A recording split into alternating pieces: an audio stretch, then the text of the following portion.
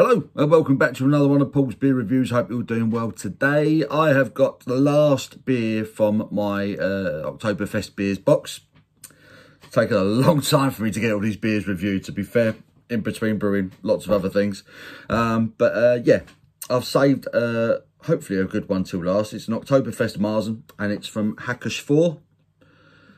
Oktoberfest Marzen coming in at 5.8% ABV. Let's have a look at the artwork. There's the Hacker Pschorr logo, the two axes. Very nice indeed. Um, Bayern, where these guys based? I'm not sure. But 5.8% ABV, 500ml bottle. And I can't see a word of English on this. Not one, but never mind never mind. So yeah, Oktoberfest Marzen. I don't know where these guys are from in Germany, but um, it's a beautiful looking bottle. And look at it, it's got, it's got a flippy top. Are we ready? Hey, bish bash bush. Nice aroma. Let's get this into the stein. And it's got certainly got the look of a traditional Marzen. Slightly darker than some of the other Oktoberfest beers. Look at that. It's a picture. Still developed a nice head. Let's get the rest of that. So give it a little swell first. Get the rest of that in there.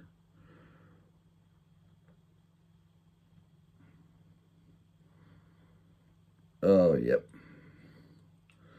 Looks a picture. I believe that as we can see it. I do like the artwork. I'll flip that on top so it doesn't get in the way. There we go. But there she is. There is this Oktoberfest Marzen. It's got beautiful chestnut colour to it. Dark amber. Decent enough levels of carbonation running up that. Don't if the camera pick that up. You see the carbonation on that? Might be able to pick it up. We've got a one to two finger, just off white head on it. Slightly foamy looking. Um, yeah, looks like a classic Marzen in colour. Let's stick me snout in, see what the aroma is telling us.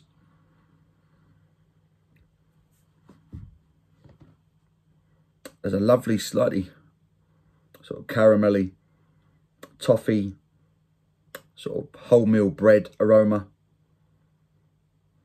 For the malt, tiny bit of citrus. A little bit of a fruitcake vibe as well.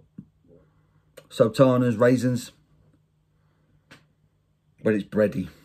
It's fruit bread again.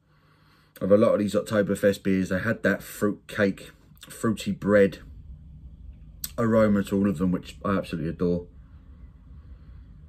Yeah, I think this is going to be a lovely Marzen. Let's get stuck in. Cheers.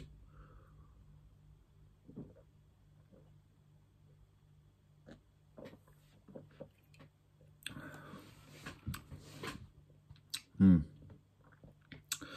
Yeah, I let this sit out the fridge for a little while, let it warm up a bit. I figured with it being a Marzen I didn't really want it ice cold. Um, I'm glad I did that. I feel like it's opened it up a little bit. All bready malt, lots of bready malt, sweet bready malt, wholemeal bread, brown bread, slightly honey flavour to it. Bit of dark fruit, I say the sultanas, the raisins. It's got that malt bread flavour to it. Um, I think Soreen, I mean, there are probably are other malt loaves available, but Soreen is the first thing that comes to mind. Um, yeah, it's a little bit of dark fruit.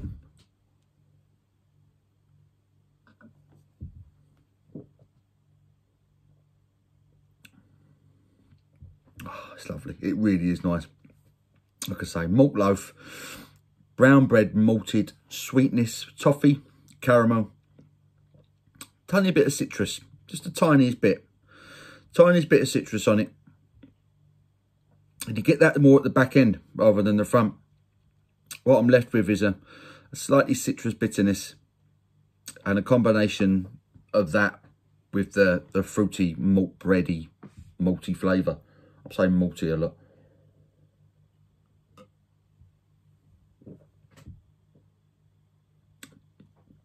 And with all good German beers, the carbonation level is quite low, making it very, very drinkable.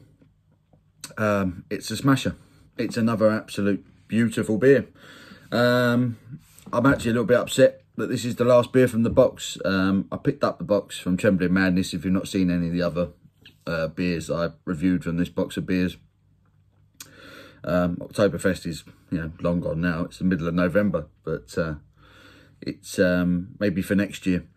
Uh, I really would recommend going to tremblingmadness.co.uk and and checking out their Oktoberfest beer range because I've had some absolute worldies, some absolutely top class beers from this box.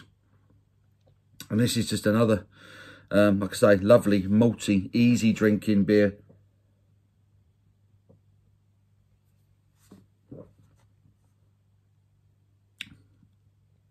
Like I say, the gentle carbonation that makes it so easy drinking. You can sit there and drink this all afternoon I'm getting into a lot of trouble. It's another one that really masks the alcohol.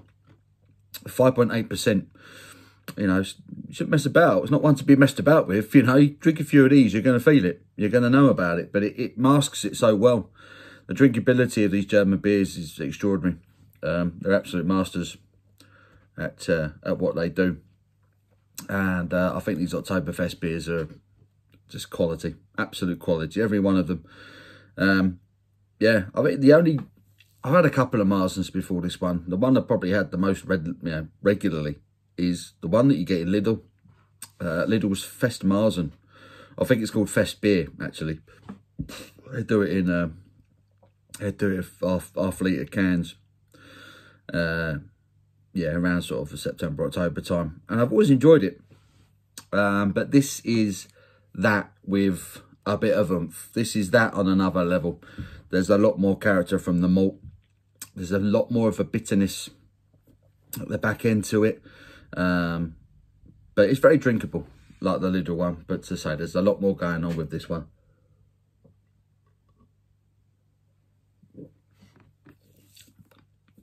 Dripping it in my beard. It's lovely. It's smooth, really drinkable. Brown bread, dark fruit, buttery bread, slight honey touch. And the back end of it, it's a very subtle slightly citrusy bitterness that combines with that buttery, malty, dark bread flavour that you've already got all over your palate. And it, it's just, it's wonderful. It just makes for an absolutely glorious beer. It's delicious. Um, yeah, I love it. Best Marzen I've ever had, by a mile.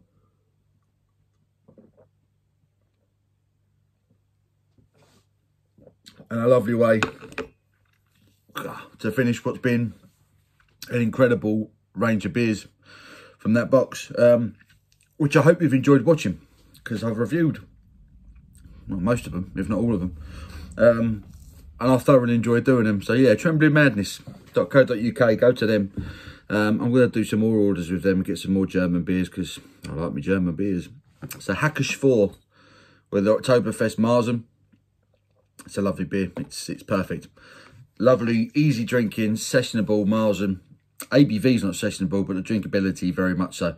Um, I like it enough to give it a 9 out of 10. I think it's absolutely glorious. So uh, there you go. Hacker Pschorr, Oktoberfest Marzen. Uh, maybe pick that one up next year. I don't know if Trembling Madness will be selling it again now. Have a look. Might be worth it. Uh, but 9 out of 10 from me. I hope you've enjoyed this video. Give it a thumbs up if you have. And uh, until the next one, you take care.